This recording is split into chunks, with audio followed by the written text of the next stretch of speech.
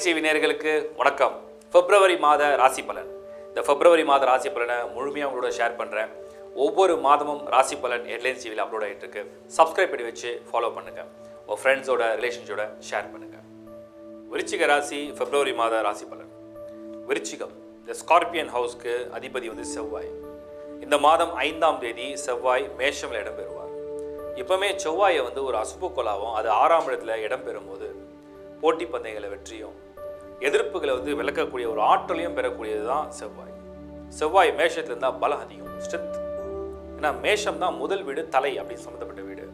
ஒரு மனிதனுக்கு வந்து புத்தி பலம் அவனுடைய தன்னம்பிக்கை அவனுடைய ஆற்றல் இதெல்லாம் வந்து பளிச்சுன்னு வரணும்னா செவ்வாய் ரொம்ப ஸ்ட்ராங்காக இருக்கும் அந்த வகையில் விருச்சிகம்க்கு இந்த ஆறாம் இடத்துல நகரக்கூடிய செவ்வாய் அதாவது பிப்ரவரி மாதம் ஐந்தாம் தேதி அந்த ராசிக்கு ஆறாம் இடத்தில் செவ்வாய் வரும் காலம் ஒரு தைரியத்தை கொடுக்கக்கூடிய அமைப்பு. உங்கள் ராசிலேயே குரு பொதுவாக குரு ஜென்மத்தில் வந்தால் பெரிய பலன் கிடையாது அப்படின்லாம் சொல்கிறது உண்டு. ஏன்னா குருவுக்கு வந்து ஒரு தன்மை என்னென்னா அவர் இருக்கிற இடத்தோட அவர் பார்க்குற இடத்துக்கு தான் பலன் அதிகம். இப்போது இந்த விருச்சிகம்லேயே குரு இருந்து குருவுடைய பார்வை ஏழு ஐந்து ஒன்பது இந்த ஸ்தானங்களை பார்க்கும்போது ஐந்து குழந்தை பாக்கியஸ்தானம். இந்த ஏழு ஒரு திருமண ஸ்தானம் சொல்லக்கூடியது. இந்த ஒன்பது பாக்கியம் அப்படின்னு சொல்லக்கூடிய இடத்துல இந்த இடத்துல மட்டும்தான் குருவுடைய பார்வை பதியுது. சனி ரெண்டாம் இடத்துல. இந்த இன்கம் ஹவுஸில் சனி வந்துட்டாருனாலே இந்த பணம் வந்து வரும் வராது. வரும் போயிடும். வரவு செலவு. இப்படி ஒரு கலந்த பலனாக தான் நடக்கும்.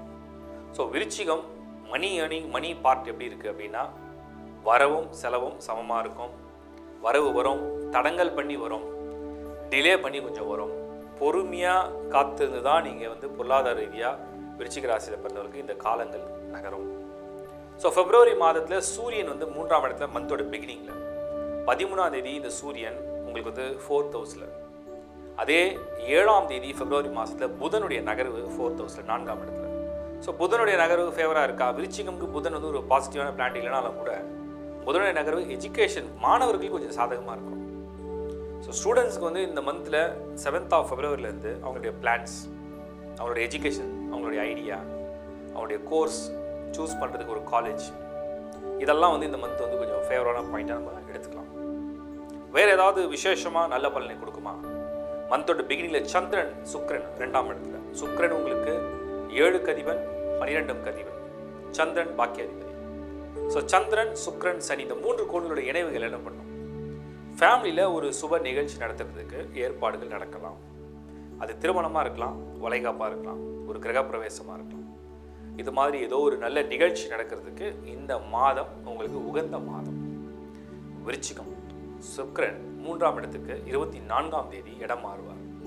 சுக்ரன் மூன்றில் போனால் கணவன் மனை உறவில் சின்ன சின்ன ஆர்கியூமெண்ட்ஸ் வரும். அவாய்ட் பண்ணிக்கிறது பெட்டர் விருச்சிகம்க்கு கடைசி வருஷம் அது. ரெண்டாயிரத்தி பத்தொம்போதே ஒரு கடைசி வருஷம். எதுக்கு கேட்குறீங்களா ஏழரை சனி முடிகிற காலம். ஸோ இந்த ஏழரை சனி முடிஞ்சதுன்னா டோட்டலாகவே நீங்கள் கொஞ்சம் மன நிம்மதி பெறுவீங்க.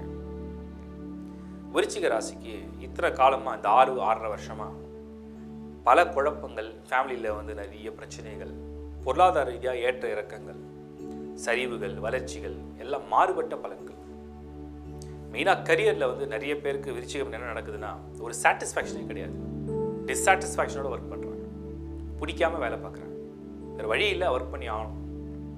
இதெல்லாம் விருச்சிகம் உண்டு ஸோ விருச்சிக ராசி இந்த மாதம் பிப்ரவரியில் திட்டம் போட்டபடி நடக்கிறதுக்கு வாய்ப்புகள் இருக்கா? அப்படின்னு நம்ம பார்த்தோம்னா அவ்வளோ ஒரு பாசிட்டிவான சான்ஸ் கிடையாது. ஸோ இந்த மந்த்தை பிளான் பண்ணி பொறுமையாக ஃபோக்கஸ் பண்ணி நெக்ஸ்ட் மந்த்துக்கு உன்னோட டிரான்சிட்லாம் பிளான் பண்ணிங்கன்னா ஓரளவுக்கு நல்ல பலன் எதிர்பார்க்கலாம். விருச்சிகம் கவனம் பொறுமை சகிப்புத்தன்மை நிதானம் பலமுறை முயற்சி. வேலையில் மாற்றம் செய்யாமல் இருக்கிறது நல்லது சேஃப் சில பேர் கோவத்தில் வேலையை விட்டுடலாம்னு நினைக்கிறாங்க. ஏன்னா விருச்சிகம் வந்து கொஞ்சம் டெம்பர் ஆகிடும் ஒரு எமோஷனலாக ஒரு இம்பேலன்ஸ் ஏன்னா விருச்சிகத்தில் தான் சந்திரன் நீச்சம் அடையும் ஒரு அவசரத்தில் வந்து ஏதோ ஒன்று இழந்துட்டு அதுக்கப்புறம் அது கிடைக்கலையே இது கிடைக்கலையே போராடுறதும் உண்டு. அவசரப்படாமல் நிதானமாக இருந்து பொறுமையாக ஹேண்டில் பண்ணால் நிச்சயமாக விருச்சிக ராசிக்காரங்க ஒரு ஒன் இயர் பாஸ் பண்ணிங்கன்னா இந்த வருஷ கடைசியில் வரக்கூடிய குரு பயிற்சி நல்ல பண்ணுங்க பிப்ரவரி மாதத்தில் முக்கிய முடிவுகள் எடுக்கிறதை தவிர்க்கலாம். பிப்ரவரி மாதத்தில் நீங்கள் இருக்கிற இடத்துல இருந்தே This video is sponsored by Asif Biryani, the world's best biryani. Plan பண்ணுறது இன்னும் பெட்டர் அப்படி தான் இருக்குது இந்த விருச்சிக ராசிக்கு இந்த பிப்ரவரி மாதம். இப்போ நீங்கள் பார்த்தது வந்து ஒரு பொது பலன். ஒரு ராசிக்கு மாதந்தோறும் நகரக்கூடிய கிரகங்களுடைய பலன். உங்களுடைய பர்சனல் சார்ட் அதாவது நீங்கள் ஜனன காலத்தை பிறந்த ஜாதகம் அதோடைய கிரக நிலைகள் தசா புத்திகள் அதற்கு உங்களுக்கு என்ன மாதிரி யோகங்கள் இருக்குது அதை கம்பேர் பண்ணி உங்கள் லக்னம் அதுக்குண்டான பலன் என்ன? இப்படி கம்பேர் பண்ணி பார்த்தீங்கன்னா அக்யூரேட்டாக உங்கள் ப்ரிடிக்ஷன்ஸ் தெரியும். இது தவிர நீங்கள் வந்து இப்போ ஒரு லக்கி ஜெம் ஸ்டோன் ஏன்னா ஜெம் ஸ்டோனை பற்றி வீடியோ நிறைய பேர் பார்த்துருக்காங்க ருத்ராட்சா பற்றி பார்த்துருக்காங்க வாஸ்து சம்மந்தப்பட்ட டவுட்ஸ் பார்த்துருக்கீங்க. இதுக்கு தேவையான ஒரு ஒரு ஜெம் ஸ்டோன் வேணும். எப்படி சூஸ் பண்ணுறது அதுக்கப்புறம் அது எங்கே நம்ம கலெக்ட் பண்ணுறது ஒரு சர்டிஃபைட் ஜெம் ஸ்டோன் எங்கே கிடைக்கும்? ருத்ராட்சா எங்கே வந்து ஒரு பெஸ்ட்டான ருத்ராட்சா கிடைக்கும்? சர்டிஃபைட் ருத்ராட்சா என்ன ஒரிஜினல் அதுக்கப்புறம் என்ன ருத்ராட்சா என்ன ஃபேஸ் நம்ம யூஸ் பண்ணணும்? நமக்கு என்ன தசை நடக்குது? அதுக்கு எதை யூஸ் பண்ணால் நமக்கு ரிசல்ட் கொடுக்கும். எப்படி மந்த்ராஸ் வந்து சேன் பண்ணணும்? ப்ளஸ் பிரமிட்ஸ் ஒரு வாஸ்து ரெக்டிஃபிகேஷன் எப்படி பிரமிட்ஸ் யூஸ் பண்ணணும்? அதை எப்படி நம்ம வந்து அக்யூரேட்டாக பயன்படுத்தினா நமக்கு வாஸ்து தோஷங்கள் நிவர்த்தி அடையும் இதை பற்றின தகவல் வேணாலும் என்னுடைய ஜூனியர்ஸ் ஒரு டீம் இருக்காங்க. உங்களுக்கு ஹெல்ப் பண்ணுறதுக்கும் சப்போர்ட் பண்ணுறதுக்கும் உங்களுக்கு தேவையான rudraksha gem stone or pyramids தேவைனாலும் order பண்ணிக்கலாம். உங்களுக்கு டெலிவரி பண்ணுவாங்க. ப்ளஸ் உங்களுக்கு ஒரு பர்சனல் கன்சல்டேஷன் வேணும். உங்கள் ஹாரோஸ்கோப் இல்லை நியூமராலஜி இல்லை வாஸ்து இதை பற்றின ஒரு கன்சல்டேஷன் வேணும்னு நினச்சிங்கன்னா டிஸ்பிளேல தெரியுற என்னோட நம்பருக்கு வாட்ஸ்அப்பில் உங்கள் நம்பரில் ஆட் பண்ணி மெசேஜாக ஷேர் பண்ணுங்கள் ஹெட்லைன்ஸ் டிவியில் astrology numerology vastu gemology rudraksha இதை தவிர அடிஷ்னலாக சைனாலஜி சிக்னேச்சர் எப்படி பண்ணுறது ஒவ்வொரு ஆல்ஃபபெட் இப்போ ஃபார் எக்ஸாம்பிள் ஏ பிசிடி இந்த மாதிரி ஒவ்வொரு ஆல்ஃபபெட்டுக்குண்டான பலன் ஒவ்வொரு நம்பரில் பிறந்தவங்களுக்கு எப்படிப்பட்ட பலன் எல்லாமே அப்லோட் ஆயிருக்கு. சப்ஸ்கிரைப் பண்ணி வச்சுருந்தீங்கன்னா நீங்கள் பொறுமையாக சர்ச் பண்ணி ஒவ்வொரு ஒரு எண் எண்கணிதமாக இருந்தாலும் சரி இல்லை ஒரு ருத்ராட்சமாக இருந்தாலும் சரி இல்லை உங்களுக்கு தேவையான ஒரு நியூமராலஜி பலனாக இருந்தாலும் சரி அல்லது உங்களுக்கு தேவையான ஒரு அஸ்ட்ராலஜி ஓல்டு சப்ஜெக்ட் உண்டான பலனாக இருந்தாலும் சரி மேரேஜ் மேட்சிங் ஆர்எல்ஸ் ஏதாவது நட்சத்திரத்தை பற்றி பலனாக இருந்தாலும் நீங்கள் சர்ச் பண்ணி பார்க்கலாம். ஏன்னா கிட்டத்தட்ட ஆறு லட்சத்தி நாற்பதாயிரத்துக்கும் மேலான சப்ஸ்கிரைபர்ஸ் வந்து ஃபாலோ பண்ணிகிட்ருக்காங்க இருக்காங்க. ஹெட்லைன்ஸ் டிவியில் அப்லோட் பண்ணாத ப்ரோக்ராம்ஸே கிடையாது. மேக்ஸிமம் பண்ணிட்டோம். வெகு விரைவில் ராகு கேது பயிற்சியும் உங்களுக்கு அப்லோட் ஆக போகுது. அதையும் நீங்கள் வெயிட் பண்ணி வாட்ச் பண்ணி பாருங்கள் தேங்க்ஸ் ஃபார் வாட்சிங் headlines TV spy from Shankar Narayan This video is sponsored by Asif Biryani, the world's best biryani. Headlines TV நேர்களுக்கு வணக்கம். ராஜயோகம். ராஜயோகம்னா என்ன? இப்போ ஒரு ஜாதகத்தில் ராஜயோகம் இருக்கு. ராஜாவாயிட முடியுமா? ஏதாவது ராஜயோகமா? ராஜயோகம்னா என்னென்னா ஒரு மனிதன் தன் இஷ்டப்படி தன் விருப்பப்படி அவன் வாழ வாழ்க்கையை அவன் என்ன எதிர்பார்க்கணும் அந்த வாழ்க்கை அப்படி அமைகிறதுக்கு பேர் தான் ராஜயோகம். ராஜயோகத்துக்கு வந்து நிறைய காம்பினேஷன்ஸ் இருக்கு. நிறைய கால்குலேஷன் இருக்கு நிறைய காம்பினேஷன்ஸ் இருக்கு. நம்ம ஒரு சில உதாரணங்களை இப்போ பார்ப்போம். அது ராஜயோகம் முதல்ல அடிப்படையில் எனக்கு தெரிஞ்சுங்க. ஒரு ஜாதகத்தை எடுத்துங்க இந்த ஜாதகத்தில் கேந்திர கோணங்கள் பிரிச்சுடுங்க. கேந்திர கோணங்கள்லாம் என்னென்ன நான் சொல்கிறேன் ஒன் ஃபோர் செவன் டென் அதாவது லக்னம் அப்படிங்கிறது ஒன்றாவது வீடு. அந்த லக்னத்துலேருந்து நான்காம் இடம் நான்காவது வீடு. அந்த லக்னத்துலேருந்து ஏழாவது வீடு ஏழு பத்தாவது வீடு. அதாவது ஒன்று நாலு ஏழு பத்து. இப்போ உதாரணத்துக்கு ரிஷப லக்னம் எடுத்துப்போம். ரிஷபம் ஒன்றாவது வீடு சிம்மம் நான்காவது வீடு விருச்சிகம் ஏழாவது வீடு கும்பம் பத்தாவது வீடு.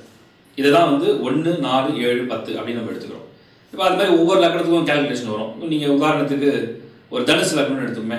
தனுசு ஒன்றாவது வீடு மீனம் நாலு மிதுனம் ஏழு கன்னி பத்து.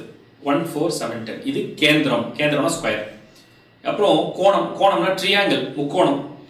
மூன்று சக்திகளுடைய இணைவுன்னு சொல்கிறோம் அப்போது முக்கோணங்கிறது என்ன? ஒன் ஃபைவ் நைன் ஒன்றாம் வீடு ஐந்தாம் வீடு ஒன்பதாம் வீடு. உதாரணத்துக்கு ஒரு கடக லக்னம் எடுத்துப்போம். ஒன்றாம் இடத்துக்கு அதிபன் சந்திரன் ஒன்றாம் வீடு ஐந்தாம் இடம் அப்படிங்கிறது விருச்சிக வீடு செவ்வாய். ஒன்பதாம் அப்படிங்கிறது மீனம் குரு. இந்த கேந்திரம் முன்னாடி சொன்ன நாளும் இந்த கோணம் சொன்னக்கூடிய ட்ரியாங்கிள் எப்பெல்லாம் இந்த கேந்திரம் one four seven ten one five nine இந்த கோள்கள் இணையுதோ அப்போல்லாம் அதுக்கு பேர் வந்து ராஜயோகம். இதில் பார்த்தீங்கன்னா கோணத்துக்கும் கேந்திரத்துக்கும் காமனாக இருக்குது இந்த ஃபர்ஸ்ட் ஹவுஸ் ஒன்றாவது வீடு. இதான் லக்னம் அதுதான் உயிர் அதான் ஆத்மா. அந்த ஆத்மாக்காரகன் எல்லா ஜாதத்தையும் பலமாக இருக்கணும். பலமாக இருந்தால் தான் அவனோட ரிசீவ் பண்ண முடியும் எனர்ஜிஸை ரிசீவ் பண்ண முடியும். ஒரு யோகா இருக்குது அந்த யோகம் இருந்தும் கூட ஒருத்தனால செயல்பட முடியலன்னா அவனுக்கு அதை ரிசீவ் பண்ற தகுதி வந்து அந்த லக்னத்தில் இல்லை அந்த லக்ன பலம் வேணும். லக்ன பலம் தான் உயிர் பலம். ஆத்ம பலம் ஸ்ட்ரென்த் ஒரு மனிதனுடைய ஆத்மா ஒரு மனிதனுடைய எண்ணம் ஒரு மனிதனுடைய புரிதல் நல்லா இருக்கணும்னா அவனுக்கு அந்த ஸ்ட்ரென்த் இருக்கணும் பேஸ் அதுதான் அந்த மூலாதார சக்கரால வந்து நமக்கு வந்து சாஸ்திராரா வரைக்கும் ஒரு ஒரு சக்கரமா சக்தி அடையிறது. அப்போ இந்த one four seven ten one five nine இது கன்ஜெக்ஷன் ஆயிடுச்சுன்னா இப்போ உதாரணத்துக்கு நம்ம மேஷ லக்னம் ஃபர்ஸ்ட் லக்னம்.